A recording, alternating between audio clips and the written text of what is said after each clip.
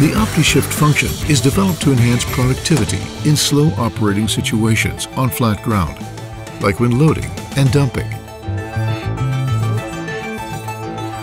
When shifting from drive to reverse or reverse to drive, the hauler will automatically brake. When the speed is slow enough, it will shift to the requested gear. When slowing the machine down automatically, if needed, you can apply more braking force using the accelerator pedal, which will now work as a retarder.